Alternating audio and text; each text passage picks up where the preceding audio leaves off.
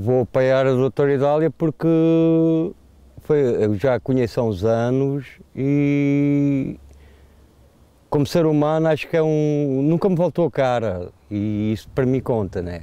E a nível de como ela foi vereadora da cultura na Câmara, acho que pouca gente uh, em Santarém tem o, a competência dela para tomar conta de, das coisas.